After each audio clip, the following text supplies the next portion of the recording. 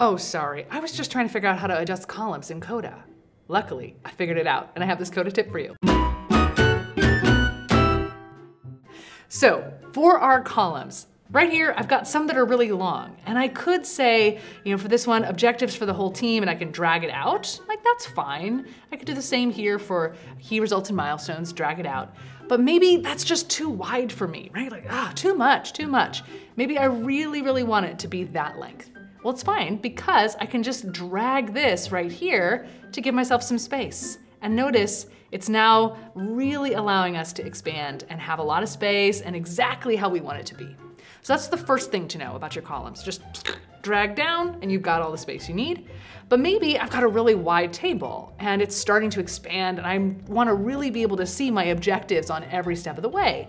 Well, what I can do is I can just click on this little menu here, I can choose freeze, and I can say freeze up to this column, one column, all that good stuff. So I'm gonna say two columns. And now, as I scroll, that's gonna stay completely stuck in one spot and I don't have to worry about kind of moving back and forgetting my context and pulling out my rulers and anything like that.